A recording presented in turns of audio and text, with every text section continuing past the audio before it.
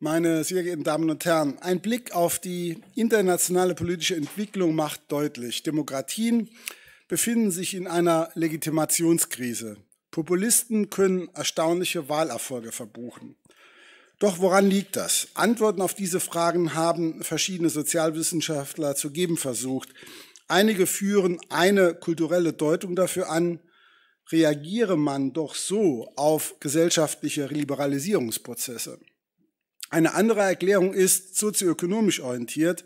Sie verweist auf, auf, die ansteigende soziale Ungleichheit. Doch stellt sich die Frage, ob diese Ansätze nicht zu kurz greifen. Im Rahmen einer erweiterten Perspektive sieht Professor Michael Zürn vom WZB in Berlin, unser heutiger Gast, eine doppelte Entfremdung. Einerseits, wenn sich die realen Entscheidungsverfahren vom Modell der parlamentarischen Demokratie wegentwickeln und andererseits viele Bürgerinnen und Bürger sich von demokratischen politischen Systemen abwenden. Die Folgen gesellschaftliche Spannungen wachsen und das Vertrauen in die Demokratie geht zusehends verloren. Und genau das machen sich autoritär-populistische Kräfte zu nutzen, wenn sie den Anspruch erheben, schlecht repräsentierten Gruppen eine Stimme zu geben. Der Populismus, sagt Michael Zürn, profitiert von realen Problemen der Demokratie, ohne zu ihrer Lösung viel beizutragen. In seinem Vortrag wird er sich eben dieser Problemstellung annehmen. Ich darf nur noch unseren Referenten kurz vorstellen. Michael Zörn ist Direktor am Wissenschaftszentrum Berlin für Sozialforschung, WZB, und Professor für internationale Beziehungen an der Freien Universität in Berlin. Der Politikwissenschaftler forscht unter anderem zu neuen gesellschaftlichen Konfliktlinien und dem weltweiten Erstarken des autoritären Rechtspopulismus, um den es heute Abend auch hier geht. Herzlich willkommen.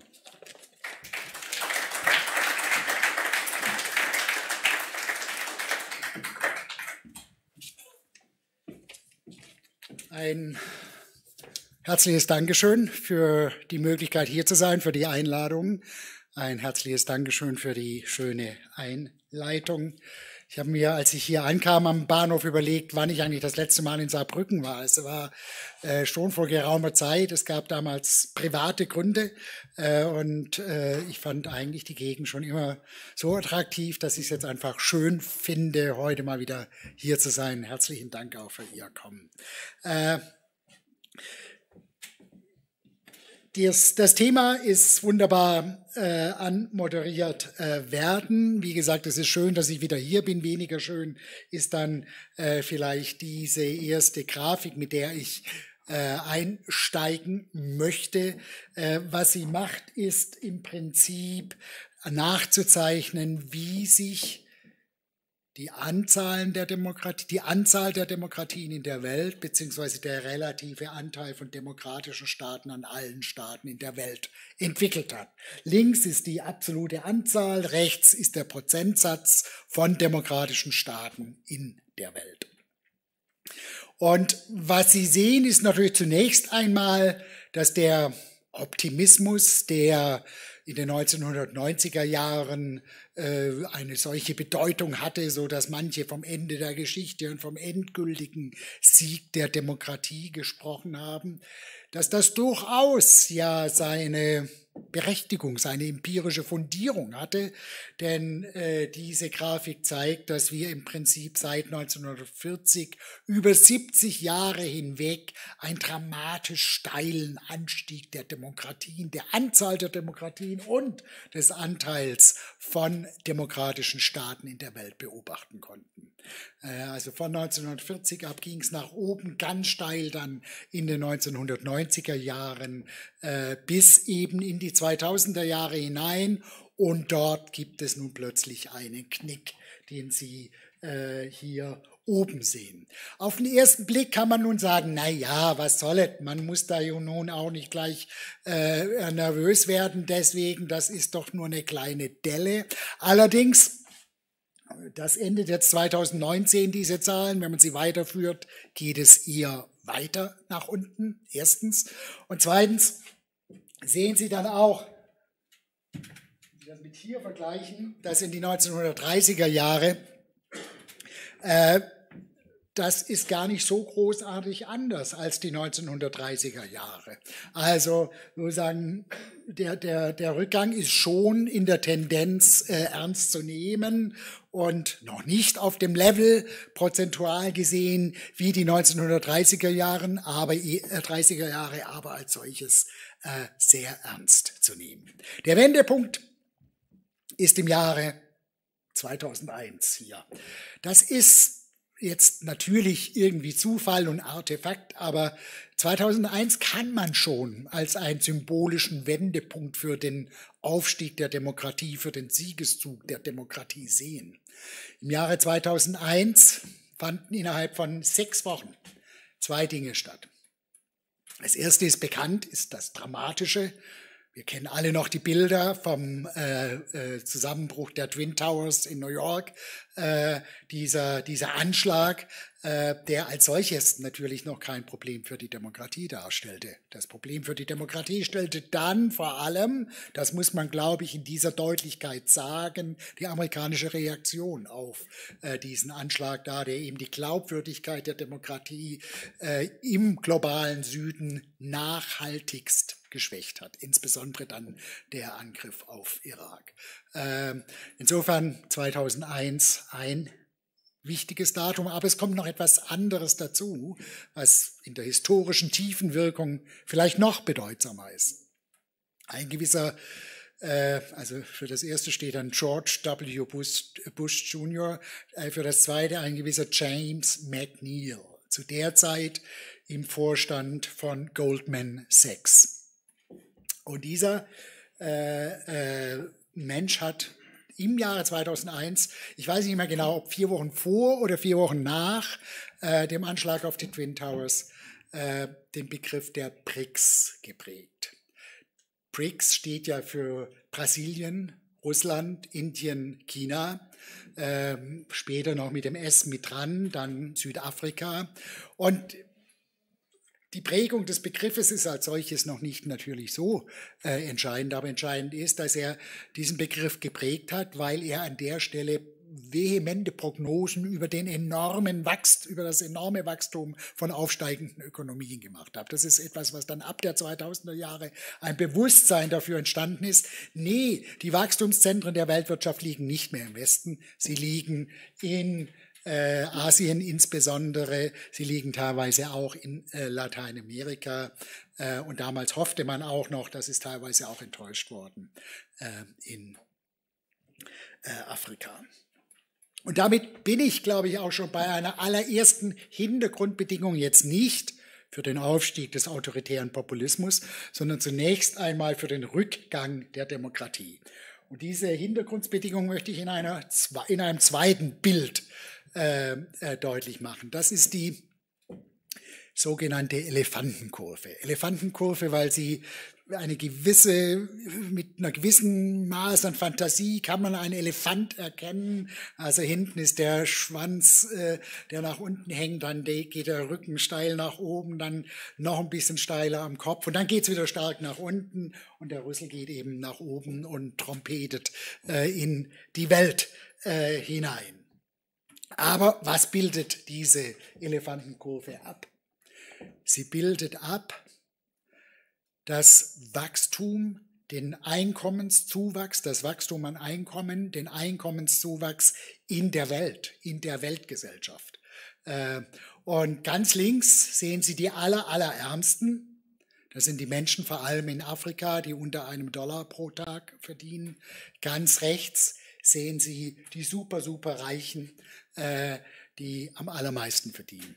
Und zwar jetzt nicht sagen, innerhalb einer äh, nationalen Gesellschaft, wo wir solche Einkommensstatistiken ja alle kennen, sondern im Weltmaßstab. Und im Weltmaßstab geht es jetzt hier um den Zuwachs, den die Bevölkerung in äh, der Welt zwischen 1988 und 2008 hatten. Und wir sehen ganz links wie ich schon sagte, die Allerärmsten in der Welt sind die Allerärmsten der Welt geblieben und sind im Prinzip noch ärmer geworden, weil sie in diesen 20 Jahren überhaupt keinen Zuwachs hatten.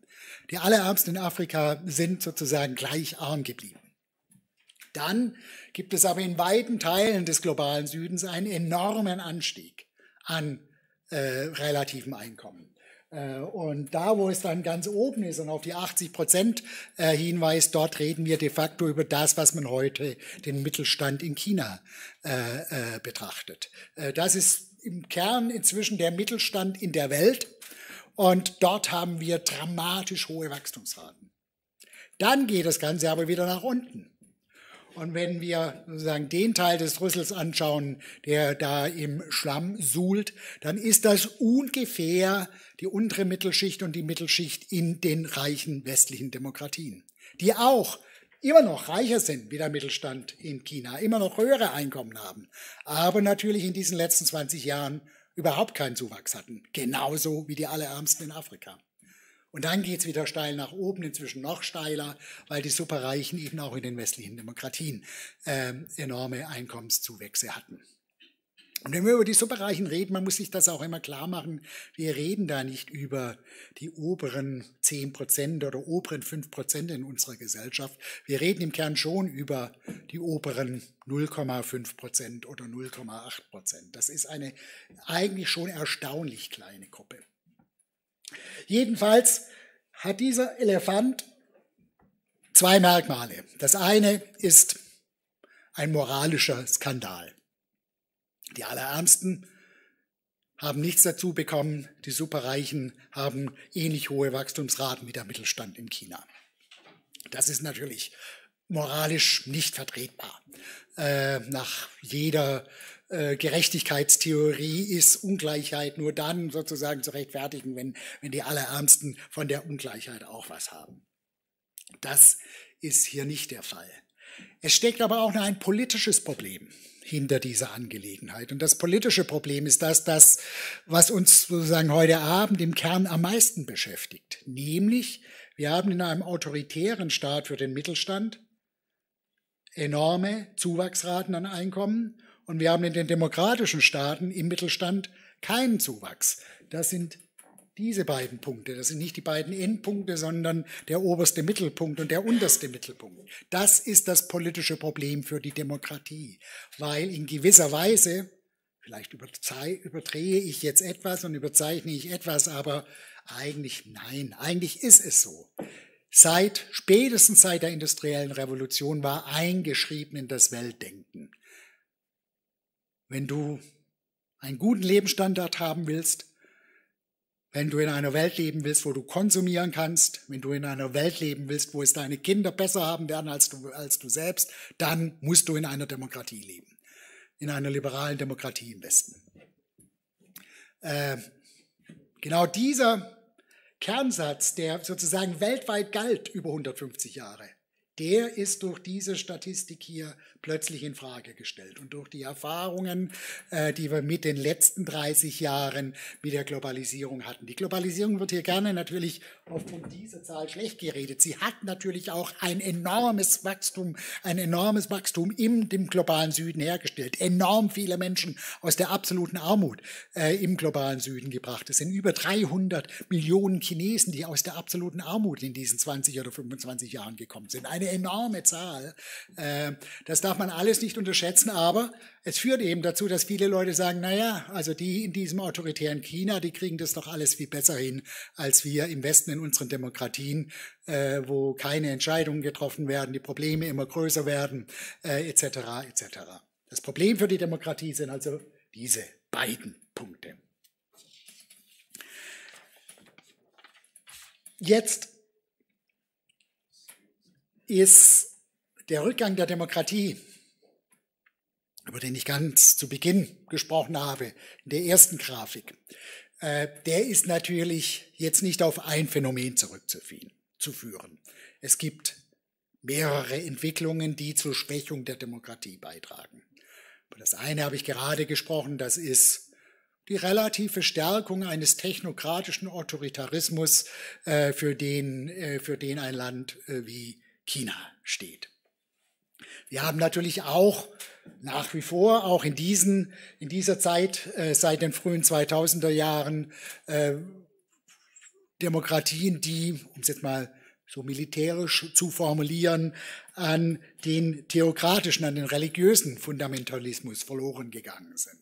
Äh, auch das äh, spiegelt sich in dieser Eingangsgrafik äh, wieder. Aber wir haben als drittes natürlich auch den Aufstieg der autoritären Populisten. Das sind sozusagen die drei wichtigsten äh, Elemente in der Geschichte. Wenn man so will, kann man noch dazu anführen, dass es natürlich immer noch klassische alte Militärdiktaturen gab, gibt und wieder gibt, wie jetzt beispielsweise in Myanmar, wo es eine solche Militärdiktatur mal wieder an die Macht geschafft hat, aber vermutlich auch nicht allzu lange.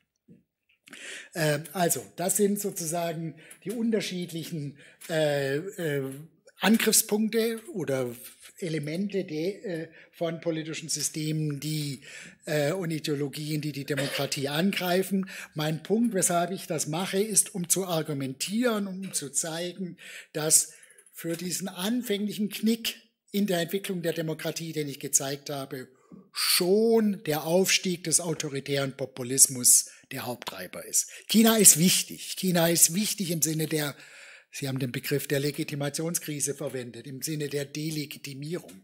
Aber sozusagen für die Statistik, die ich anfänglich gezeigt habe, da geht es vor allem um die Länder, in denen autoritäre, autoritär-populistische Parteien, autoritär-populistische äh, äh, Bewegungen die Macht ergriffen haben. Nicht wie bei uns, dass sie irgendwie mit 15 bis 20 Prozent äh, im Parlament sind, sondern es gibt eben die Fälle, in denen sie an die Regierung gekommen sind.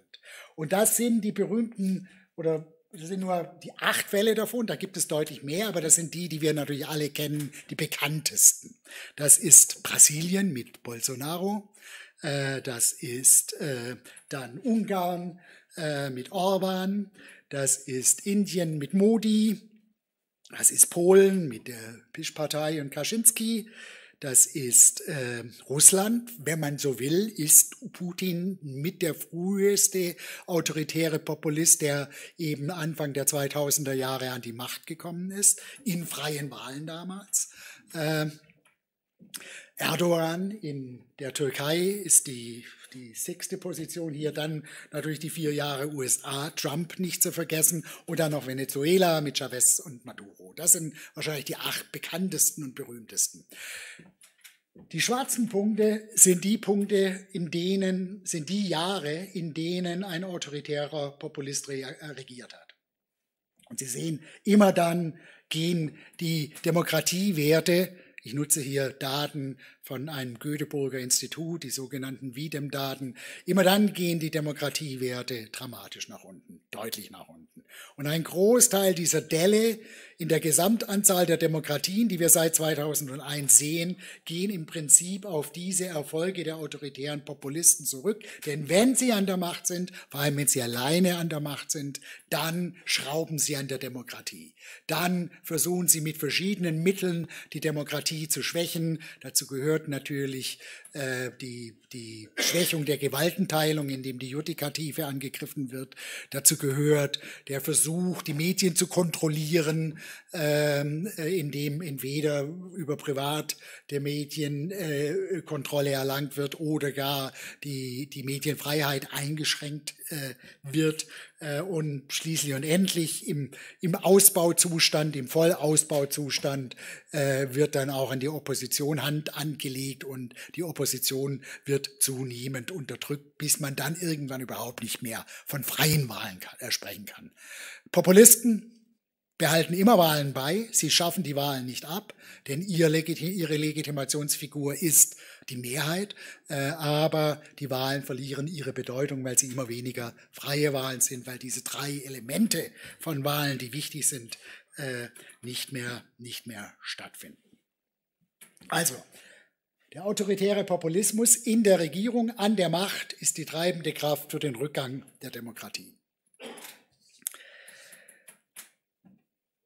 Jetzt bleibt die Frage, und das ist ja jetzt meine Aufgabe, äh, was ist der Grund für den Aufstieg des autoritären Populismus? Der autoritäre Populismus mag zwar der Grund für den Rückgang der Demokratie sein, das beantwortet aber noch nicht die Frage, was eigentlich der Grund für den autoritären äh, Populismus ist. Und um das jetzt sozusagen etwas zu beleuchten, äh, will ich erstmal nochmal anfangen, was ich meine, wenn ich von autoritärem Populismus rede. Weil das ist, es gibt zumindest einen ganz gewichtigen Strang in der politikwissenschaftlichen und soziologischen Literatur, die sagen, nee, Populismus ist nicht per se autoritär. Populismus ist im Prinzip ein sehr offenes Konzept. Es ist eine dünne Ideologie, äh, wie dort gesagt wird, äh, die im Prinzip nur ein Merkmal hat. Sie baut diesen Gegensatz zwischen äh, einer homogen gedachten äh, korrupten Elite und einem gleichfalls homogen gedachten Bild des Volkes, der einfachen Leute auf. Äh, in dieser Vorstellung vom dünnen autoritären Populismus beschränkt sich der Populismus letztendlich darauf. Und deswegen muss er, so die Argumentation, Verbindungen eingehen mit echten Ideologien. Die dünne Ideologie braucht eine, äh, wie, wie es dort genannt wird, eine Host, eine Gastgeberideologie. Äh, und das kann links und rechts sein. Das können rechtspopulistische Parteien sein und linkspopulistische. Und deswegen bezeichnet man dann Leute wie Bernie Sanders äh, äh, äh, ebenfalls als Populisten, äh, gleich als Linkspopulist und Donald Trump als Rechtspopulist. Und wenn man es dann ganz extrem treiben will, vielleicht noch äh, Macron auch noch als Zentrumspopulist. das ist also eine Vorstellung von Populismus. Es ist eine dünne Ideologie, äh, die im Prinzip nur durch den Gegensatz zwischen einfachen Leuten äh, und der korrupten Elite geprägt ist und von daher äh, sich mit verschiedenen äh, grundlegenderen Ideologien äh, verbinden kann. Und wenn man es dann so sieht, dann kann man auch vollends fertig argumentieren, wie es manche Sozialtheoretiker wie Chantal Mouffe, der Tradition von Karl Schmidt und anderen tun. Äh, der Rechtspopulismus gefährdet die Demokratie, der Linkspopulismus ist gut für die Demokratie. Äh, das ist eine Position. Ich finde diese Position etwas problematisch, weil schon alleine durch die Gegenüberstellung von korrupter Elite und äh, einfachen Leuten im Prinzip häufig mehr drin steckt. Äh, aber vor allem, um jetzt von vorne anzufangen, weil es, um in der medizinischen Sprache zu sprechen, dann so viele falsche Positive gibt. Ich meine, wollen wir wirklich argumentieren, dass die Demonstrierenden in Leipzig, die Wir sind das Volk hochgehalten haben, Populisten sind? Das ist die Konsequenz, wenn man ein, eine Auffassung vom dünnen Populismus hat. Karl Liebknecht äh, hat 1914 flammende Reden gehalten über sozusagen die korrupte Militärelite, die das Land äh, äh, dominiert und uns in den Krieg treibt und die einfachen Leute sollen dagegen aufstehen.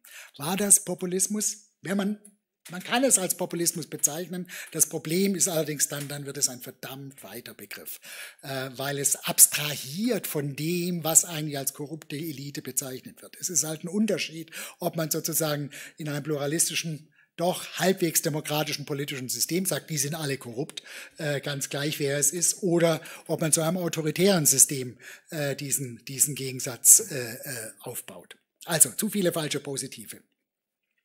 Ähm, aber mein Hauptproblem ist, man kann das so machen, aber man greift dann im Prinzip an dem Problem unserer Zeit vorbei. Weil das Problem unserer Zeit ist das, was ich gerne als autoritären Populismus bezeichnen würde. Ja, es gab zwischen 2005 und 2008 in äh, äh, insbesondere Südeuropa, in Griechenland, in Spanien noch mit heute Podemos äh, Gruppierungen, die gegen die Finanzkrise äh, äh, aufgetreten sind und dann natürlich auch Bezug auf die Leiden der eigenen Bevölkerung genommen haben. Und ja, ähm, äh, äh, Bernie Sanders hat auch immer wieder mal gegen das Establishment in Washington äh, polemisiert.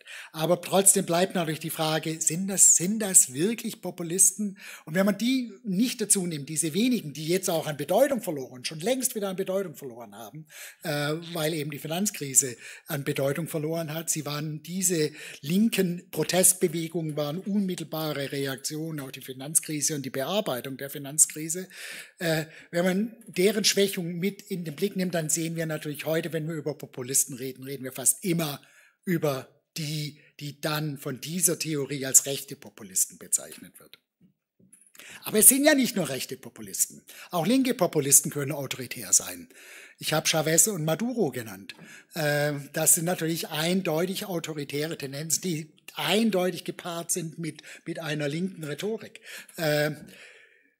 Ich will jetzt hier keinen Streit provozieren, aber ich würde argumentieren, dass Mélenchon durchaus stark äh, äh, autoritär-populistische Elemente äh, äh, in sich trägt und man kann die Diskussion auch mit Blick auf äh, Frau Wagenknecht betreiben. Ähm, ähm, ich will damit nicht sagen, don't get me wrong, dass Podemos oder auch Syriza in Griechenland äh, äh, autoritäre Populisten sind. Das würde ich genau nicht sagen. Von alledem, was sie bisher gemacht haben, gibt es überhaupt keine Anzeichen dafür. Äh, ich will nur sagen, der Populismus, der autoritäre Populismus äh, kann auch äh, wirtschaftspolitisch linke Positionen annehmen und in einer sozialistischen Rhetorik daherkommen. Aber dann bleibt er immer noch ein autoritärer Populismus. Hintergrund dieser Argumentation ist, auch das wurde in der schönen Einleitung angesprochen. Die Überzeugung, dass wir heute zu Beginn des 21. Jahrhunderts nicht mehr in einem politischen Raum leben, der sich sinnvollerweise als einer aufteilen lässt oder abtragen lässt auf einer Linie zwischen links und rechts. Das ist etwas, was das 20. Jahrhundert geprägt hat mit dem Aufkommen des Industriekapitalismus ist die Politik ganz, ganz stark geprägt worden durch den Gegensatz von Kapital und Arbeit, von Sozialismus und Liberalismus, von Arbeiterparteien und bürgerlichen Parteien. Wir konnten immer alles irgendwie verorten auf zwischen ganz links und ganz rechts und allem dem, was dazwischen ist. Genau das scheint mir heute einfach nicht mehr der Fall zu sein, weil wir als Folge der Globalisierung im Kern die eine ähnliche gesellschaftliche Veränderungskraft ausgelöst hat, eine ähnliche gesellschaftliche Revolution war wie die Industrialisierung, dass diese Globalisierung eine neue, eine zweite Konfliktlinie äh, äh, in die Gesellschaft eingetragen hat und wir insofern inzwischen in einem zweidimensionalen politischen Raum leben. Genauso wie wir sozusagen die alte Konfliktlinie sagen, sozialstrukturell war das Kapital gegen Arbeit, dann gab es Ideologien, die sie in gewisser Weise äh, auf den Punkt gebracht haben, diesen Gegensatz. Das war dann Sozialismus und Liberalismus. Äh, äh, und es gab dann Parteien, die diese Ideologien in gewisser Weise verkörpert haben. Also auf der einen Seite die sozialistischen und sozialdemokratischen Parteien und auf der anderen Seite die bürgerlichen und die liberalen Parteien. Oder die konservativen Parteien und die liberalen Parteien, die dann zusammen die bürgerlichen Parteien waren. Äh, genauso kann man sagen, sehen wir eine ähnliche Entwicklung in unserer Gesellschaft heute in der zweiten Konfliktlinie. Wie gesagt, der sozialstrukturelle Gegensatz ist Globalisierungsgewinner und Globalisierungsverlierer. Äh, das geht mitten durch unsere Gesellschaft in gewisser Weise. Äh, die Ideologie kann man als eine prinzipiell offene, wenn man so will, äh, eine kosmopolitische sehen, die für offene Grenzen sind, die dafür sind, dass wir sozusagen auch weltweit Verantwortung äh, zu übernehmen haben, äh, die universelle Rechte annehmen äh, und sagen, dass Politik nicht an den nationalen Grenzen endet und von daher auch für europäische und für internationale Institutionen sind. Das ist eine Gruppe. In Deutschland steht dafür äh, in gewisser Weise die Grüne Partei. Und auf der anderen Seite dieser anderen neuen Konfliktlinie haben wir äh, eine Ideologie, die eher an geschlossene Grenzen glaubt, die sagt, nee, Rechte sind etwas politisch Konstruiertes, das ist sozusagen getrieben durch ein entsprechendes Gemeinschaftsgefühl, die sind nicht universell gegeben. Äh, und wir brauchen uns auch nicht um das kümmern, was jenseits unserer eigenen Grenzen stattfindet. Und deswegen sind all diese europäischen und internationalen Institutionen auch des Teufelszeugs, weil sie letztendlich nur den Menschen vorschreiben äh, durch irgendwelche Bürokraten, was sie tun sollen. Also hier, hier haben wir diesen Gegensatz und in Deutschland steht natürlich auf der anderen Seite hier die, die AfD. Und wenn man so will, wenn man, es, wenn man es ganz provokativ fassen will, leben wir ja zumindest hierzulande, wo wir ein Mehrheitswahlsystem, äh, kein Mehrheitswahlsystem haben, sondern ein, ein Proportionalwahlsystem haben, äh, leben wir ja eigentlich schon in einer Gesellschaft, wo wir grob viermal 25 Prozent haben. Äh, wir haben auf der linken Seite, wenn man die Sozialdemokratie und Teile der Linken nimmt, äh, 25 Prozent. Wir haben äh, auf der rechten Seite, wenn man äh, äh, die äh, bürgerlichen Teile der CDU nimmt, plus die Liberalen, wahrscheinlich immer noch etwas mehr als die 25 Prozent, aber auch nicht viel mehr. Äh, wir haben äh, die, die Grünen, wo man durchaus vielleicht Teile der CDU dazu nehmen kann im Sinne ihrer kosmopolitischen Orientierung bei circa 25 Prozent. Und wenn wir sozusagen den autoritären Teil der Linken mit denen der AfD zusammennehmen, das, was Wagenknecht ja jetzt versucht als Partei zu konstruieren, dann haben wir auch irgendwo ein Potenzial um die 20 bis 25 Prozent. Deswegen die Rede vom zweidimensionalen äh, politischen Raum. Und in diesem zweidimensionalen politischen Raum sozusagen nimmt der autoritäre Populismus eben einen Pol ein. Den Gegenpol zu den Kosmopoliten äh, in der zweiten Dimension. Und deswegen, so die Argumentation, ist der autoritäre Populismus und, anders gesagt, der Populismus, den, mit dem wir es heute zu tun haben, ganz einfach, äh, einer, der eben keine dünne Ideologie ist, weil er eine ganze Liste von Merkmalen aufweist, die immer zusammen auftreten bei all diesen Parteien.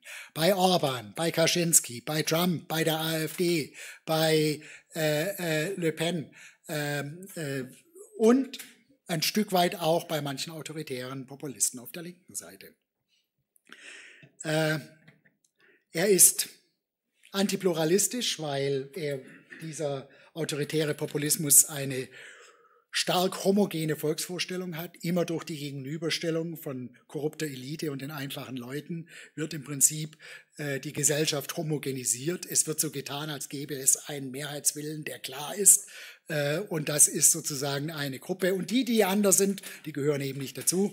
Äh, daraus leitet sich natürlich auch die Ablehnung. Also sozusagen, wenn man die AfD-Wählerinnen und Wähler fragen würde, gehört Kreuzberg zu Deutschland, wäre die Antwort ganz klar nein. Ähm, ähm, äh, genau äh, aus, aus äh, dem äh, Grunde, weil eben sozusagen das, was nicht in dieses Bild der homogenen äh, äh, Volksvorstellung passt, äh, wird im Prinzip als extern definiert. Und das ist natürlich auch ein Kern der Migrationspolitik und der Politik gegenüber Ausländerinnen und Ausländern, die wir an der Stelle sehen. Das zweite ist nationalistisch. Politische Gemeinschaften enden einfach an nationalen Grenzen. Äh, und äh, insofern gibt es keine Verantwortung gegenüber Menschen, die außerhalb dieser Grenzen leben. Äh, meine, es ist wahrscheinlich, ich brauche nicht zu verheimlichen, auf welcher Seite ich da jetzt stehen würde bei dieser zweiten Konfliktlinie. Äh, äh, es, es ist dann natürlich auch der Punkt an der Stelle, dass man sagt, äh, die Globalisierung gibt es gar nicht. Denn wer sozusagen anerkennt, dass es die Globalisierung gibt, der wird auch anerkennen müssen, dass viele unserer Entscheidungen, die wir hier treffen, Effekte außerhalb unserer nationalen Grenzen hat. Etwa bei der Klimapolitik. Ich meine, diese armen pazifischen, diese armen Menschen, die auf den pazifischen Inseln leben, die jetzt nicht mehr da sind, die hatten ja gar keine Möglichkeit, bei unserer Klimapolitik mitzubestimmen. Also insofern äh, ist das Argument, im Zuge der Globalisierung ist die, ist die Trennschärfe von nationalen Grenzen dramatisch zurückgegangen. Das wird auf der einen Seite im Prinzip geleugnet und versucht mit einer Renationalisierung zu begegnen. Und auf der anderen Seite wird gesagt, nee, wir haben eine kosmopolitische Verantwortung. Ähm, am Rande nur, am Rande nur. Auf den ersten Blick ist ja sozusagen die Polarisierung, die wir zurzeit in Deutschland hinsichtlich der Frage des Ukraine-Krieges haben, hat auf den ersten Blick ja sehr, sehr wenig mit Globalisierungsgewinnern und Globalisierungsverlierern zu tun. Aber trotzdem fällt natürlich auf, dass wir ganz ähnliche Diskurskoalitionen haben. Die, die äh, gegen Covid waren, die gegen äh, Waffenlieferungen an die Ukraine sind, die äh, gegen die EU in der Finanzkrise waren. Ähm, äh, das sind immer ganz ähnliche Diskurskoalitionen gewesen, die, die wir auch heute wiederum äh, beobachten können. Ein Grund ist halt, dass argumentiert wird, warum sollen wir sozusagen unsere eigenen äh, Wirtschaftswachstum, die Haushaltsressourcen etc. zur Verfügung stellen für ein Problem, was nicht unseres ist. Das ist sozusagen Teil der kommunitaristischen Logik an der Stelle. Äh, das dritte Merkmal ist dezisionistisch.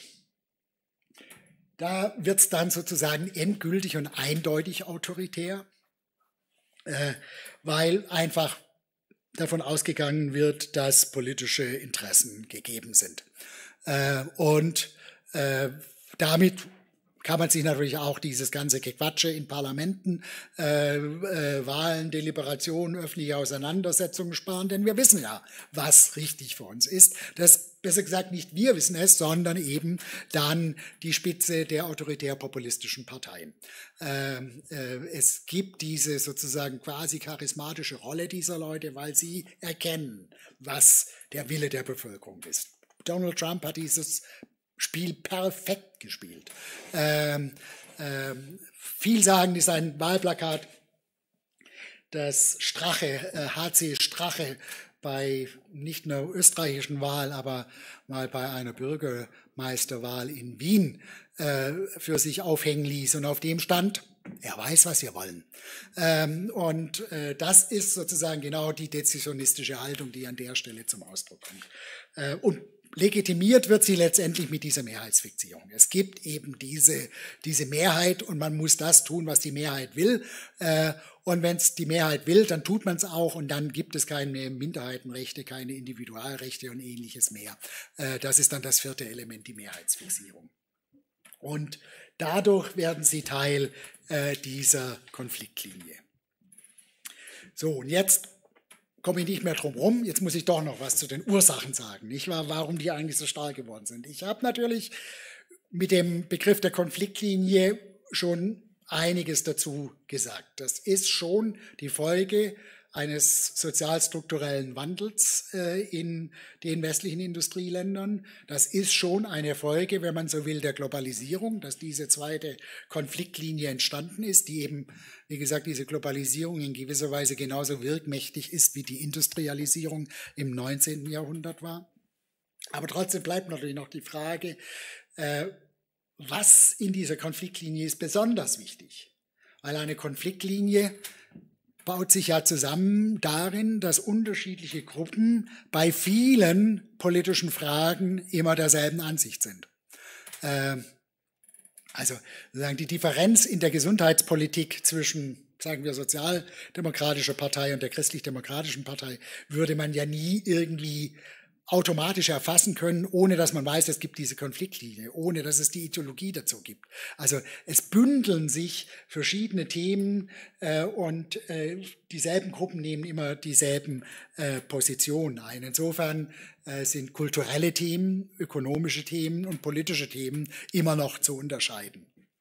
Und an der Stelle sage ich nun in der Tat, ja, die ökonomische Erklärung, die letztendlich sagt, das ist die wachsende Ungleichheit innerhalb äh, der westlichen Industrieländer im Kern, äh, der den Aufstieg des autoritären Populismus erklärt, greift etwas kurz. Äh, er hat natürlich sozusagen, ich will das Element nicht in Frage stellen, aber trotzdem muss man als erste Beobachtung einfach sagen, das Durchschnittseinkommen des AfD-Wählers liegt ein paar Euro über dem Durchschnittseinkommen der Bundesbürger. Also es ist sozusagen jetzt nicht die Unterschicht, äh, die die, die, die, die, die AfD wählt. Das war anfänglich noch ein bisschen anders, aber inzwischen äh, ist es so, dass wir an der Stelle circa auf dem Level des Durchschnittseinkommens sind. Äh, aber viel wichtiger noch ist, in Schweden haben wir genau denselben Wähleranteil für die autoritären Populisten äh, wie in Deutschland. Und äh, was ich damit sagen will, es gibt enorme Varianzen im Ausmaß der Ungleichheit innerhalb der Länder und trotzdem gibt es überall die autoritären Populisten, die irgendwo 15 bis 20 Prozent Unterstützer haben. Äh, es ist in Schweden so und das ist in der anglosächsischen Welt so. Äh, man kann dann immer noch sagen, ja, es ist nicht die absolute Ungleichheit, sondern es ist die Zunahme von Ungleichheit in den letzten 20, 30 Jahren. Aber auch da stoßen wir auf Erstaunliches. Es gibt eigentlich nur drei OECD-Länder, in denen die Ungleichheit in den letzten 30 Jahren kaum oder gar nicht zugenommen hat. Äh, das ist äh, Frankreich, das sind die Niederlande und das ist Österreich. Äh, in diesen drei Ländern haben wir sagen erstaunlicherweise keine große Zunahme der Ungleichheit und trotzdem sind es genau die drei Länder, in denen die autoritären Populisten zuerst da waren. Ähm, also irgendwie gibt es an der Stelle Schwierigkeiten mit der Ungleichheitserklärung. Und das erklärt natürlich vor allem nicht, äh, und das ist ganz offensichtlich, warum äh, sie in Türkei, in Polen und in Ungarn diese enormen Erfolge äh, zeitigen, wo wir natürlich äh, enorme äh, Wachstumsschübe in den letzten 30 Jahren hatten. Die andere Erklärung ist diese kulturelle, die Backlash-Erklärung. Ja, es versuche sie jetzt in deren Worten zu fassen. Es gab halt so viel der Liberalisierung äh, in unseren Gesellschaften in den letzten drei Jahrzehnten. Das ging alles sehr, sehr schnell mit den ganzen Minderheiten, mit den unterschiedlichen sexuellen Orientierungen, äh, mit der äh, relativen, natürlich immer noch nicht auf gleicher Ebene, aber relativen Machtgewinn der Frauen. Und dagegen gibt es jetzt eine Gegenbewegung, eine kulturelle Gegenbewegung gegen diese äh, Liberalisierung. Aber auch da stellen sich Fragen. Warum haben wir so starke autoritäre Populisten in Polen und in Ungarn, wo es sozusagen von dieser Liberalisierung weiß Gott nicht so viel gab? Äh, ähm, ähm, und äh, warum haben alle gemeinsam diesen, diese, diese Wut gegen die internationalen Institutionen? Äh, der internationale Währungsfonds ist mir jetzt noch nicht aufgefallen als Vorreiter der feministischen oder LPGT-Bewegung. Äh, und trotzdem gibt es ein hohes Maß an Einigkeit, wir sind gegen die. Ähm, insofern hat auch die kulturelle Erklärung, die statistisch, rein statistisch, immer ein bisschen bessere Ergebnisse zeitigt. Äh, aber das kommt auch immer daher, dass im einen Fall suchen wir nach Strukturmerkmalen wie Einkommen und im anderen Fall fragt man Einstellungen und Einstellungen können immer besser andere Einstellungen erklären als, als so, so, so, äh, soziostrukturelle Merkmale. Also insofern, beide erklären etwas, aber beide erklären nicht allzu viel. Insofern das Entfremdungsargument. Und ich möchte die Entfremdungsthese die politische These, die politische Erklärung, die ich in den Mittelpunkt stellen will, die in gewisser Weise dann ja auch versuchen kann und partiell äh, die kulturelle und vor allem die ökonomische mit integriert, möchte ich einführen, indem ich ein Zitat vorlese von Robert Dahl. Robert Dahl ist ein ganz berühmter amerikanischer äh, Politikwissenschaftler, der äh, bahnbrechende Werke zur Demokratietheorie geschrieben hat. Und dieser Robert Dahl hat 1965, das ist jetzt allerdings meine Übersetzung, aber ich verspreche, dass ich mich wörtlich an, die, äh, an das Original gehalten habe, hat geschrieben, die Politik des Kompromisses, der Anpassung, der Verhandlung des Feilschens. Eine Politik, die von professionellen und quasi professionellen Führungspersönlichkeiten betrieben wird, die nur einen kleinen Teil der gesamten Bürgerschaft ausmachen, eine Politik, die ein Bekenntnis zu den Tugenden des Pragmatismus, der Mäßigung und des schrittweisen Wandels widerspiegelt. Eine Politik, die unideologisch und sogar antiideologisch ist. Viele Bürger sehen diese Form der Politik als zu abgehoben, zu bürokratisiert, zu sehr von Verhandlungen und Kompromissen abhängig und zu sehr ein Instrument der politischen Eliten. Äh, das hat er 1965 äh, äh, geschrieben und damit scheint mir sozusagen der subjektive Kern der politischen Erklärung sehr klar beschrieben. Wir haben einen Prozess, in dem der Gegensatz zwischen links und rechts immer kleiner geworden ist, ähm, in der politische Eliten immer mehr aus sich selbst heraus generiert haben und nicht mehr Repräsentanten von unterschiedlichen Klassen und Schichten der Bevölkerung waren äh, und natürlich in Koalitionsregierungen äh, die natürlich zugenommen haben mit der zweiten Konfliktlinie. Der Zwang zur Koalitionsregierung wächst, äh, in, wenn es zwei, zwei Konfliktlinien gibt, sagen immer mehr die Dominanz des, des, des Kompromisses. Und das ist im Prinzip die politische Erklärung, die besagt, die politischen Institutionen, die demokratischen politischen Institutionen funktionieren anders, als sie noch vor vier oder fünf Jahrzehnten funktioniert haben. Sie sind weniger gebunden an die Mehrheiten, an die Wahlen Und äh, deswegen gibt es eine Art Entfremdung von diesen demokratischen Institutionen und diese Entfremdung führt dann dazu, dass man anfängt, äh, die äh, Eliten als Ganzes äh, korrupt zu betrachten und dann ist es nicht mehr weit zur Wahl von autoritären Populisten. Objektiv, das heißt, es gibt sozusagen einen objektiven Hintergrund für die, wenn man so will, in Anführungszeichen, ich will das jetzt gar nicht normativ sagen, aber jetzt einfach, um es deutlich zu machen, der Verschlechterung der Demokratie. Das eine ist ein, Repräsent, ein gewachsenes Repräsentationsproblem in den Parlamenten. Parlament ist ja das, was durch die Mehrheit gewählt wird, was wir wählen, wenn wir in die Wahlurne gehen. Ähm, Armin Schäfer, mein Co-Autor, hat da wunderschöne äh, Studien gemacht, die einfach hier äh, zeigen. Jetzt benutze ich doch mal den Pointer hier. Äh, ich glaube, ich, glaub, ich lasse es. Äh, das sind die untersten Schichten, das sind die, die Arbeiter. Äh, die Wahrscheinlichkeit, dass wenn die mehrheitlich für eine bestimmte Position sind, dass das dann sich in eine politische Entscheidung äh, im Parlament niederschlägt, ist relativ klein. Um vieles kleiner als im Mittelstand und natürlich nochmals um vieles kleiner bei der oberen Schicht. De facto ist es so, dass das Parlament nur noch dann Entscheidungen trifft, die mit den Präferenzen der unteren Schichten übereinstimmt, wenn die oberen Schichten auch für dieselbe Politik sind. Ähm, das, jetzt kann man sagen, und das ist, glaube ich, ein wichtiges Gegenargument, was man im Auge halten muss, Parlamente waren noch nie komplett repräsentativ. Ähm, ein anderer berühmter amerikanischer Politikwissenschaftler, Eric Schatzschneider, hat mal den schönen Satz formuliert, ähm, äh, The American Congress sings with an upper class accent. Ähm, äh, das ist natürlich in gewisser Weise immer schon richtig gewesen für Parlamente. Aber wir haben auch, wie soll ich das sagen, eine habituelle Verschiebung. Äh, die Unterschichten waren lange Zeit mit sozialdemokratischen Politikerinnen und Politikern vertreten, die erkennbar waren als Arbeiterinnen und Arbeiter.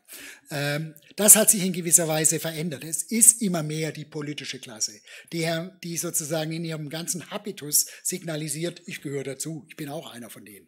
Ähm, ähm, nehmen, wir, nehmen wir den wirklich fantastischen Hubertus Heil, der ja nun wirklich für einen Großteil von einer von vernünftigen Sozialpolitiken der letzten 15 bis 20 Jahre verantwortlich ist. Einer, der wirklich Politik macht für die da unten.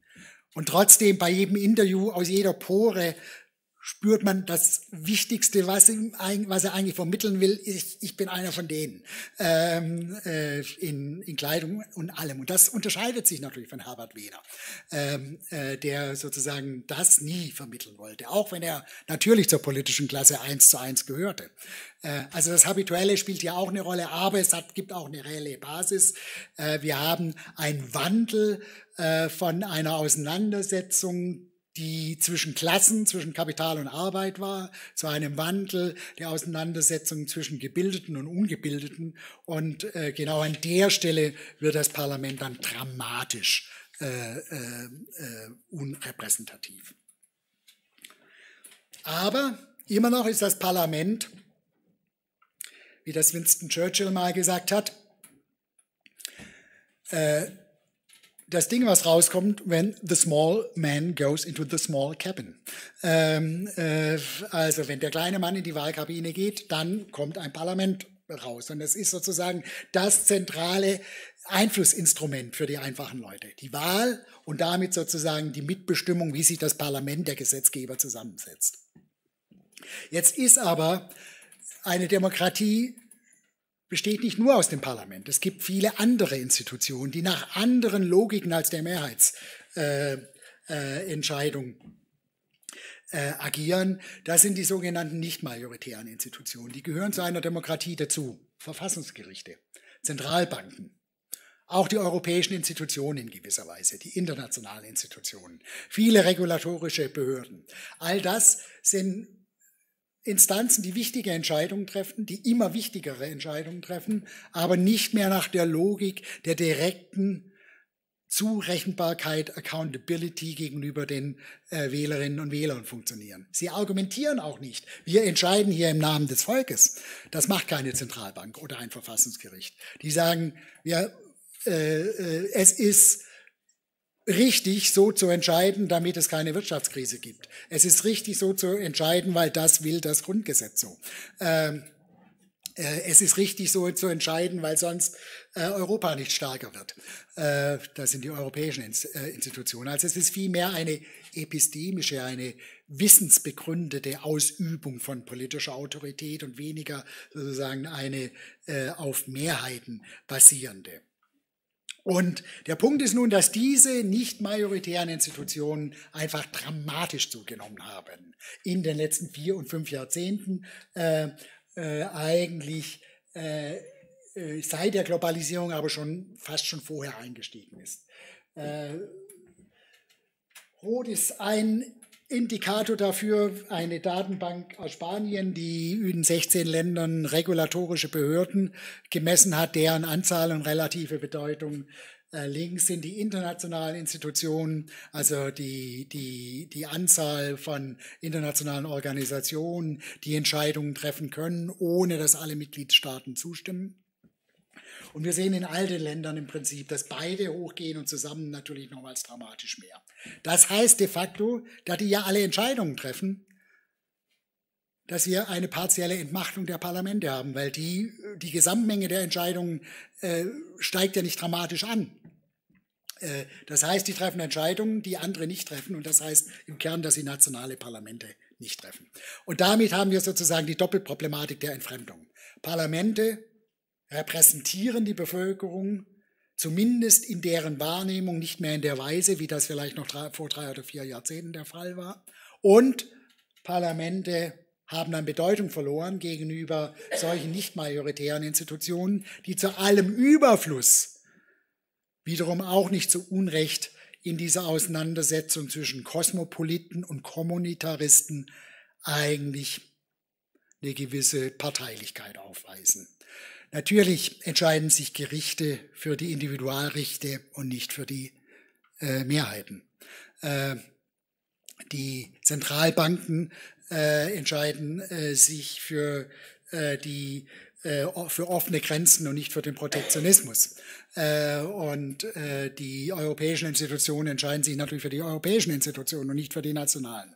Also insofern gibt es sozusagen bei diesen Konfliktlinien auch immer eine gewisse Neigung der Nicht-Majoritären zugunsten der Kosmopolitischen zu argumentieren. Auch das kann man empirisch zeigen. Wir haben also insofern, wenn man so will, äh, eine Veränderung der politischen Institutionen, der demokratischen politischen Institutionen, die weniger an die Logik der Wahl und in die Mehrheiten gebunden sind und von daher äh, eine wachsende Demokratie Unzufriedenheit zur Folge hat. Und die kann man ganz leicht und überall zeigen. Äh, wenn die Menschen gefragt werden, sind sie zufrieden mit unserer Demokratie, wie sie funktioniert, geht das dramatisch zurück. Wenn sie gefragt werden, glauben sie, dass äh, die Menschen in der Regierung daran interessiert sind, was sie denken, gehen die Zahlen dramatisch zurück. Wir haben eine wachsende Unzufriedenheit mit dem konkreten Funktionieren der Demokratie in unserem Land. Daraus folgt nicht, dass die Leute nicht in der Demokratie leben wollen, aber sie sind zunehmend unzufrieden, wie die Institutionen in unserem Land und in anderen westlichen Demokratien äh, äh, funktionieren. Und von dieser äh, wachsenden Un äh, Demokratieunzufriedenheit ist es dann nur noch ein kurzer Schritt äh, zur Wahl von autoritären Populisten. Lassen Sie mich das, ich habe noch ein paar Minuten, ähm, nochmal ganz kurz zu spitzen. Das Narrativ der AfD ist klar. Politische Klasse, Lügenpresse, Systemparteien, äh, wenn man das im das Parteiprogramm anschaut, das ist, das ist auch wirklich faszinierend, wie häufig diese Begriffe auftauchen, wie häufig immer das Abrechnen mit der versifften politischen Klasse stattfindet, wie wenig aber wirklich Politiken formuliert werden, die anders sind als die von den Mainstream-Parteien. Der gesamten Sozialpolitik. Äh, merkt man keinen Unterschied. In der Wirtschaftspolitik kann das, könnte das jede andere Partei sein. Die sind natürlich etwas dramatischer in ihren Forderungen, was die Migrationspolitik anbetrifft, aber an der Stelle, wenn man jetzt nur die Parteiprogramme miteinander vergleicht, auch nicht so viel anders wie die CSU. Äh, also was wir haben ist, dass sozusagen in diesen Parteiprogrammen immer gegen das politische System geschossen wird, ohne dass tatsächlich viele andere Politiken äh, äh, vorgeschlagen werden. Und das spiegelt sich in gewisser Weise auch äh, und damit machen sie etwas, was klug ist, weil es sich in Umfragewerten sehr deutlich niederspiegelt. Auf die Frage, das ist ein Pew Survey, glauben Sie, dass die gewählten Offiziellen in Ihrem Lande sich dafür interessieren, was Leute wie Sie denken?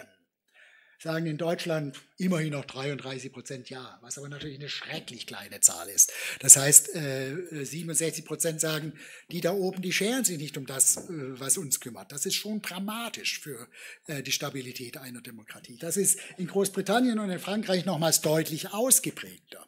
Deswegen sind im Übrigen auch die autoritären Populisten dort in gewisser Weise stärker. So, jetzt aber die Frage Ungleichheit und kultureller Backlash. Ähm, in derselben Pew-Umfrage äh, wurde die Frage gestellt, das Ziel der Geschlechtergleichheit hat, äh, wurde die, die Frage nach der Zustimmung der Geschlechtergleichheit und der Politiken, die das politische System tätigt, um die Geschlechtergleichheit herzustellen. Sagen in allen drei Ländern über 90 Prozent, das ist schon okay so. Das ist gut so. Wenn man die ökonomische Unsicherheit anschaut, dann haben wir eine überwiegend mehrheitlich positive Einschätzung der ökonomischen Situation zwischen 53 und 64 Prozent in diesen drei Ländern, vor allem aber eine deutlich äh, positivere als noch 1990.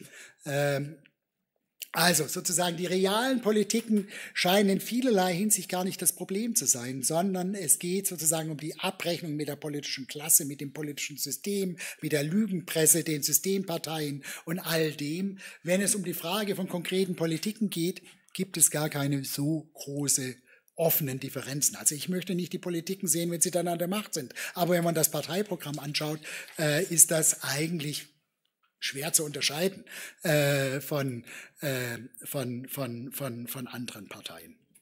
Also, dann ist es doch sozusagen die Frage, des, wie das politische System funktioniert. Und an der Stelle, und damit komme ich jetzt wirklich zum Schluss, ist eben das Argument, dass insbesondere äh, die großen Krisen diese Veränderung des politischen Systems natürlich ganz besonders deutlich gemacht haben. In diesen großen Krisen ist ganz klar geworden, wie wenig eigentlich das Parlament inzwischen zu sagen hat. Wenn wir in 20 Jahren auf die großen Krisen der äh, ersten 20 Jahre äh, des 21. Jahrhunderts zurückschauen, dann werden wir sie mit Namen wie Draghi und Drosten verbinden. Vertreter von nicht majoritären Institutionen, nicht mit sozusagen Parlamentarierinnen und Parlamentariern. Insofern haben diese Krisen in gewisser Weise äh, sagen, ein, eine Lupe, ein Scheinwerferlicht auf die Veränderungen des politischen Systems geworfen, die ohnehin stattgefunden haben, aber die sozusagen in den Krisen nochmals ganz besonders äh, deutlich geworden sind. Jetzt könnte man noch äh, differenzieren, weil ich glaube, es ist ein wichtiger Unterschied, dass sowohl die Migrationskrise als auch die Finanzkrise unmittelbar den autoritären Populisten in die Hand gespielt hat, während das bei der Ukraine-Krise und bei der Corona-Krise etwas anders ist. Äh, aber das ist dann vielleicht auch nochmal Stoff für die Diskussion. Für jetzt möchte ich mich einfach für Ihre Geduld und Aufmerksamkeit bedanken und komme an der Stelle zum Schluss. Dankeschön.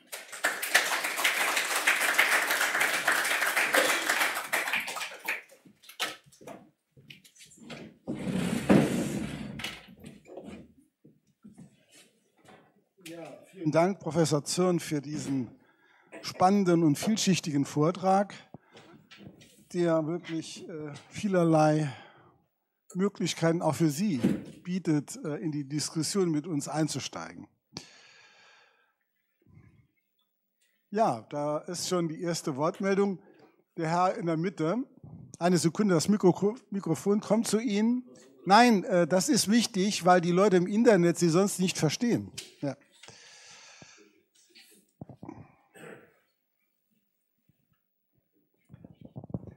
Äh, ist es nicht so, dass äh, Politiker, die sei es an der Macht sind oder die Macht erhalten wollen, äh, den Mainstream verfolgen, um, um betreiben damit Populismus. Äh, klassisches Beispiel aktuell Frankreich. Ich glaube, die Politik, die Macron betreibt, hat, läuft dem schlicht entgegen. Und würde Macron diese Politik betreiben, hätte er die Möglichkeit, nochmal gewählt zu werden, was ja ausgeschlossen ist.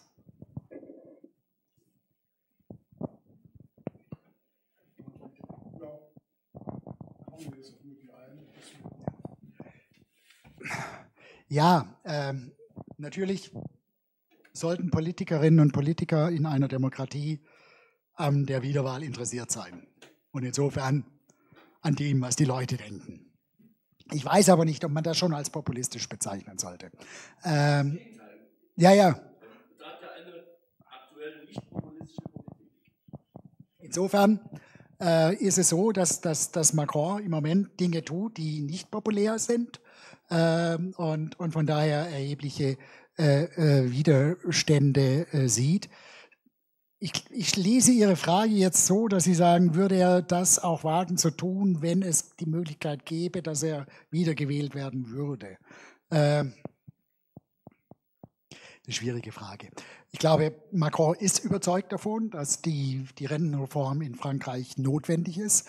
Ähm, äh, ich denke, er hat es schon mal versucht. Die, die Gelbwesten-Bewegung, die ja auch ein schönes Beispiel für die Verbindung von links- und rechtsautoritären Bewegungen äh, sind, haben sich damals dagegen gestemmt und haben gesiegt in einer Situation, wo er dann eben nachgeben musste. Äh, jetzt kann man sagen, wenn er jetzt nicht nachgibt, dann ist das der Unterschied zu dem vorher, aber sozusagen, dass er diese Überzeugung hat und bereit ist, hohe Kosten in Kauf zu nehmen, um diese Politik durchzusetzen, die würde ich ihm schon zuschreiben. Das läuft darauf hinaus, ja. Also die aktuellen äh, Umfragewerte, die, die, Tendenz ging eindeutig in Richtung äh, Le Pen bzw. Nachfolger. Das ist ein hoher Preis, den er riskiert. Ja, ja, der Preis ist hoch, ganz klar. Ähm, die Frage ist, warum, äh, ich glaube, die andere Frage ist, warum er alleine ist im politischen Umfeld, äh, äh in der, im Vertreten dieser Position, äh, wo ich jetzt sozusagen, ohne dass ich Ökonom bin, ein hohes Maß an Plausibilität sehe, dass angesichts der Geburtenrate in Frankreich und angesichts äh, der, der Altersstrukturen es sehr, sehr schwer sein wird, nichts an dem Rentensystem äh, zu ändern. Aber, aber da muss ich jetzt auch dazu sagen, da bin ich jetzt relativ weit weg. Mein Eindruck ist, dass da gewisse Maßnahmen notwendig sind ähm, und dass er der Überzeugung ist, dass das zu tun ist, um sozusagen eine Spaltung, die dann in 10 oder 15 Jahren ohnehin kommt, aufgrund der Schwierigkeiten, die sozusagen das äh, Hineinlaufen in die Finanzkrise der, der Rentenkassen äh, bedeuten würde. Aber ähm, das ist, dann, das ist dann schwer zu sagen, was ihn jetzt genau treibt.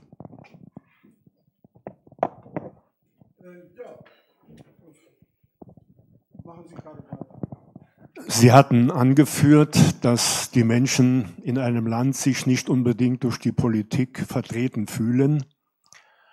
Würden Sie da übereinstimmen, dass es auch an der Politik liegt, weil sie ihr Handeln nicht erklärt? Sie sprachen gerade von Krisen auch wo in Krisen die Menschen nicht mehr verstehen, was da passiert. Und ich denke manchmal, warum ähm, überlässt man den Medien, Dinge zu formulieren und warum sagt ein Kanzler oder eine Kanzlerin nicht alle 14 Tage in der ARD so ein super Brennpunkt. Das haben wir erkannt, das werden wir tun, das haben wir noch nicht getan, weil, und das werden wir noch tun. Warum erklärt man den Menschen nicht, was man tut und warum man etwas nicht tut. Ich bin der Meinung, da fühlen sich die Menschen alleingelassen und das könnte man eigentlich leicht ändern. Ich gebe Ihnen schon recht, äh, dass sowohl der jetzige Kanzler als auch seine Vorgängerin nicht gerade Helden oder Heldinnen in, in, der, in der öffentlichen Präsentation und im Erklären waren. Ähm, und das spielt eine Rolle. Da bin ich mir ziemlich sicher. Wir haben Fälle, wo das Erklären ganz gut funktioniert, beispielsweise mit der neuseeländischen ähm, äh, Premierministerin hatten wir einen solchen Fall. Es gibt immer wieder Politikerinnen und Politiker, die das recht gut machen. Und das zeigt sich dann auch in sozusagen den Umfragewerten und auch in den Demokratiezufriedenheitswerten. Aber das sind natürlich dann immer relativ kurzfristige Sachen. Dahinter stecken schon strukturelle Veränderungen, die dafür Sorge tragen, dass wir eigentlich in all diesen Ländern, ganz unabhängig davon, wie gut oder schlecht die Erklärungskraft der jeweiligen Regierung ist, äh, diese, diese Tendenzen beobachten, diese Tendenzen der Zunahme einer Konfliktlinie, der, der die relativen Erfolge der autoritären Populisten und die abnehmende Demokratiezufriedenheit.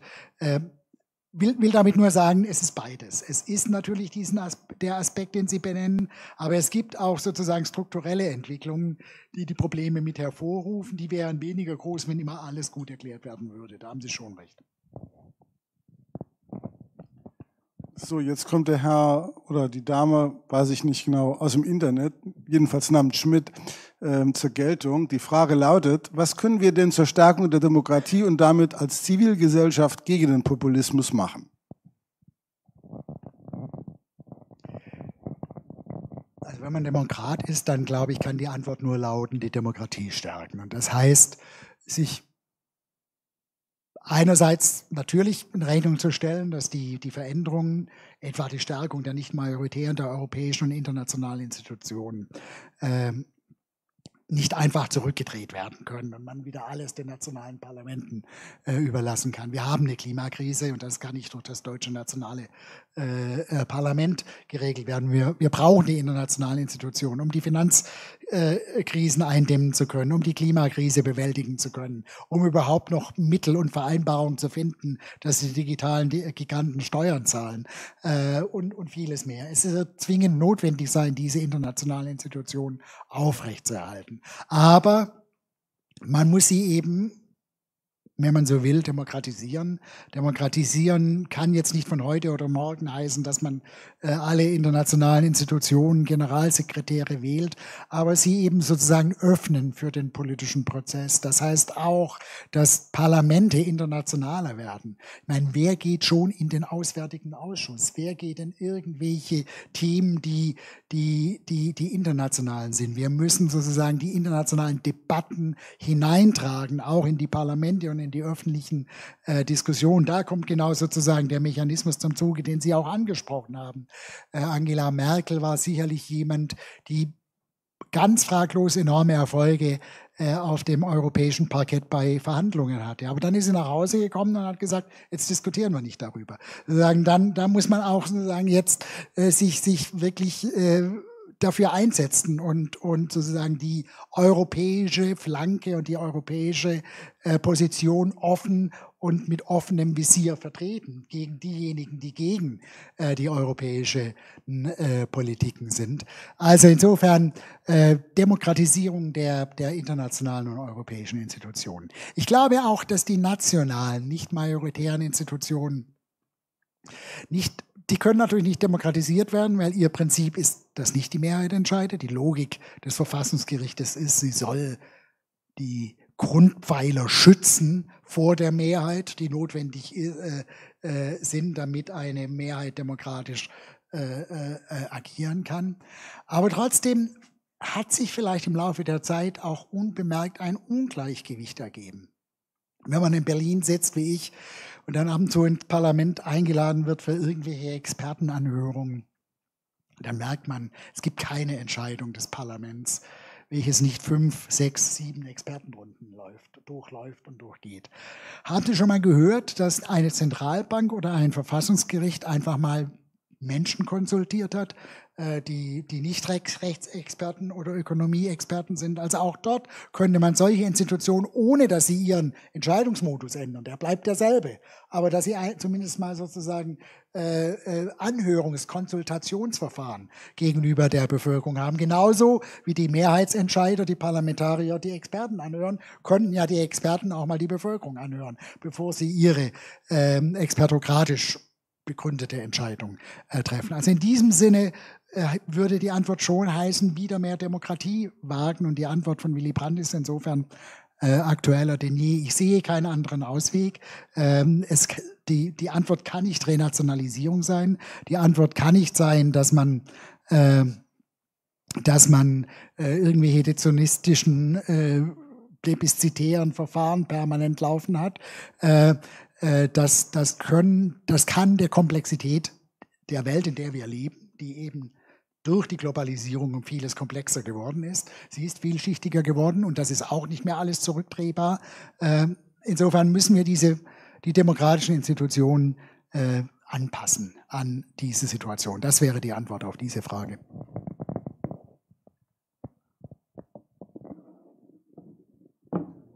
Darf ich nochmal zurückkommen auf den Begriff Demokratie, auf die Problematik der zurückgehenden Demokratien? Ich glaube, es gibt noch 50, wenn ich sie richtig verstanden habe haben Sie äh, die USA unter der Ägide Trump nicht mehr zu Demokratien gezählt.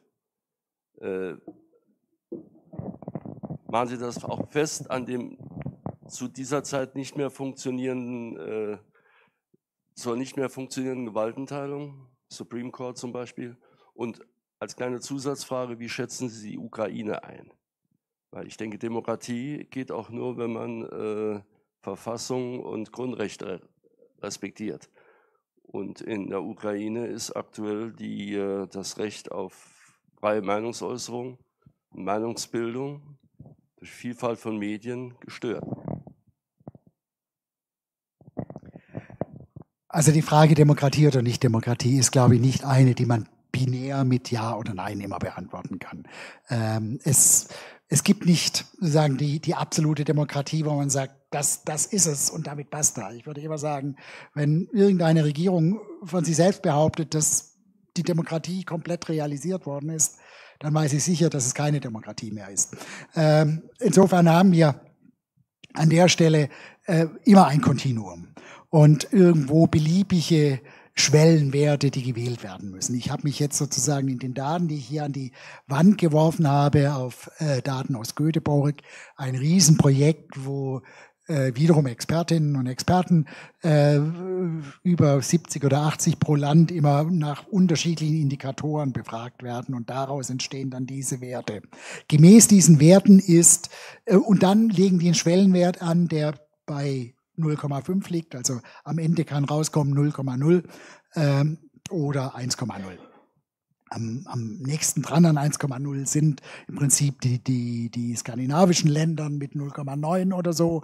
Äh, und äh, dann gibt es natürlich Bürgerkriegsländer, äh, wo, man, wo man sozusagen nahe bei 0,0 ist. Die legen dann den Schwellenwert 0,5 an. Und der ist jetzt wichtig. Auch die USA unter Trump ist nie in die Nähe von 0,5 gekommen, sondern ist dann auf 0,7 oder sowas abgerutscht äh, und ist insofern von denen immer noch als Demokratie eingestuft worden. Man kann ja nun wie soll ich das sagen, die Art und Weise, also nicht, dass ich das jetzt begrüßen würde, was Trump mit dem Supreme Court gemacht hat, aber es ist natürlich was anderes als das, was, was, was in Polen und in Ungarn äh, mit, dem, mit dem Rechtssystem passiert. Ich meine, er hat nur sozusagen eine Praxis, die sich eingeschliffen hat im politischen System, von allen immer genutzt worden ist, nämlich, dass die Richter parteilich bestimmt äh, werden, äh, ziemlich extrem weitergetrieben. Äh, und, und insofern auch nicht offen jetzt sozusagen die Gewaltenteilung in den USA angegriffen äh, in seiner Amtszeit. Äh, also die USA sind da drüber geblieben. Es, es gab einige Indikatoren, die, die deutlich schlechter geworden sind, aber sie sind drüber geblieben. Und bei Ukraine ist es so, dass wir, ich glaube, das ist wichtig, dass wir zufällig, das ist natürlich zufällig, aber trotzdem wichtig, zufällig ein oder zwei Jahre bevor dieser Krieg jetzt begann, hatten sie zum ersten Mal seit langem die 0,5 überschritten. Es war ein sich demokratisierendes Land. Ähm, und das ist aus meiner Sicht eben dann doch auch eine der Kriegsursachen gewesen. Äh, äh, Putin hat irgendwie leben können, wenn ein Land wie die Ukraine äh, damit leben können, wenn, wenn es dort westlichen Einfluss gibt und auch westlichen Militäreinfluss. Aber sozusagen im russischen Reich eine Demokratie, äh, das ist sozusagen zur, zur eigenen Herrschaftsgefährdung geworden. Insofern ist der Demokratisierungsprozess, den die Daten von Wiedem für die Ukraine bis vor dem Ausbruch des Krieges zeigen, äh, möglicherweise relevant für den Kriegsausbruch. Dass dann in einer Kriegssituation äh, Demokratie ein schweres Geschäft ist, das das ist, ist bekannt, das ist klar. Und das hat natürlich auch für Großbritannien und USA während des Zweiten Weltkriegs gegolten. Ähm, äh, also da möchte ich jetzt nicht den Stab brechen und sagen, dass wenn da jetzt so ein paar Werte wieder runtergegangen sind, dass das äh, etwas ist, was, was man jetzt als hochproblematisch ansehen muss. So, wir scheinen keine weiteren Fragen mehr äh, zu haben. Dann äh, darf ich mich ganz herzlich bedanken für wirklich äh, den vielschichtigen und ähm, ja auch mit einer komplexen Fragestellung äh, konfrontierenden äh, Themenstellung Und ich finde, dass äh, diese ganzen Facetten, um die es hier geht, ja auch sehr plausibel äh, in ihrer Kausalität deutlich gemacht wurden. Letztendliche Wahrheiten konnten wir natürlich nicht bekommen, aber dann wäre der gute Professor Zürn wahrscheinlich heute Abend noch nicht bei uns, sondern würde irgendwo auf dem Olymp äh, der Wissenschaft äh, Platz nehmen. Also da müssen wir uns noch etwas gedulden. Und das Thema, das ist nun mal leider so, wird uns erhalten bleiben. Wer jetzt sich noch weiter informieren will, der hat auch die Möglichkeit, weil die Buchhandlung St. Johann hat das dazu passende Buch von Professor Zürn hier dabei und das kann man dann erwerben und unser Gast wird natürlich auch das Buch gerne signieren, wenn es denn gewünscht ist. Ich bedanke mich für Ihr Kommen und darf Sie wie immer ganz herzlich zum kleinen Umtrunk unten im Foyer einladen. Vielen Dank.